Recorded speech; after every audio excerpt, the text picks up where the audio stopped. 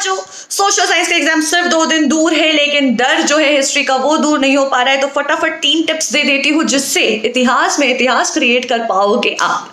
सबसे पहले बच्चे हम जब किसी मूवी को देखते हैं तो कैसे वो कहानी याद रहती है? क्योंकि कहानी की तरह देख रहे हैं मूवी की तरह नहीं। वैसे ही इस चैप्टर को कहानी की तरह देखो, सारे एलिमेंट्स याद रहेंगे। दूसरा, हर एक इवेंट को आप एक दूसरे इवेंट से कनेक्ट करो, ताकि आपको ऑर्डर ऑफ़ अकरेंस भी याद रहे।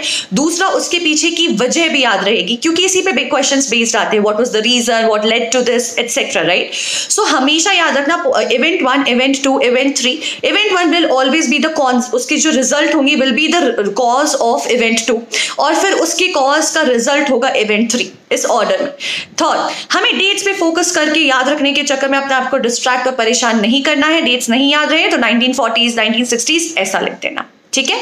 All the best take care